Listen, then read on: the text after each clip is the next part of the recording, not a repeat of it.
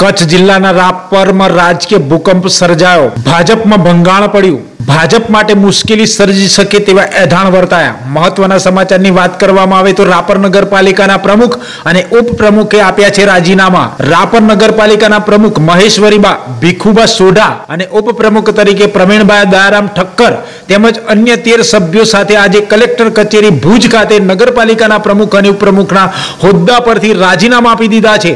આ અંગે મળતી વિગત મુજબ, ભાજપમાં ચૂંટાયેલા સભ્યોની સત્તા નગરપાલિકામાં જ્યારે હતી, ત્યારે નગરપાલિકાના ભાજપના સદસ્યોએ કોંગ્રેસના બે ઉમેદવારોનો ટેકો મેળવીને નગરપાલિકાના પ્રમુખ તરીકે મહેશ્વરીબા ભીખુબા સોઢા અને ઉપપ્રમુખ તરીકે પ્રવીણભાઈ દયારામ ઠક્કરની વરણી કરવામાં આવી હતી.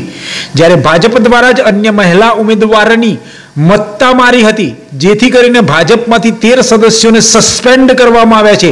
એટલે કે હાથના કર્યા હૈયે વાગે જેવી હાલત સર્જાઈ છે. જેમાં ભાજપ દ્વારા નોટિસ આપી કે ભાજપના મેન્ડેટ પર ચૂંટાયેલા સભ્યોએ રાજીનામું આપવાનું જણાવાયું છે. તે મુજબ આજે કલેક્ટર કચેરી ખાતે નગરપાલિકાના પ્રમુખ મહેશ્વરીબા સોઢા, ઉપપ્રમુખ પ્રવીણભાઈ ઠક્કરે રાજીનામા આપી દીધા હતા. આગામી દિવસોમાં રાપર શહેરમાં ભાજપને ભારે નુકસાન થાય તેવી શક્યતાઓ હવે સેવાઈ રહી છે. આગામી દિવસોમાં અગાઉ ચૂંટાયેલા ભાજપના તેર સદસ્યોને ભાજપ દ્વારા સસ્પેન્ડ કરવામાં આવેલા. તેઓએ એ કોંગ્રેસના બે સદસ્યોના ટેકાથી નગરપાલિકામાં સત્તા હાંસલ કરી હતી.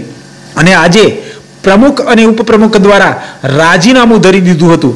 ત્યારે આગામી દિવસોમાં વાગડના રાજકારણમાં મોટા ફેરફાર થાય તેવી શક્યતાઓ છે. આગામી દિવસોમાં જિલ્લા પંચાયત અને તાલુકા પંચાયતની ચૂંટણીઓ પણ યોજાઈ રહી છે. ત્યારે વાગડ વિસ્તારમાં રાજકીય ભૂકંપ સર્જાયો છે, જે વાગડ વિસ્તારમાં ભાજપ માટે મોટી મુશ્કેલી સર્જે તેવી શક્યતા સેવાઈ રહી છે.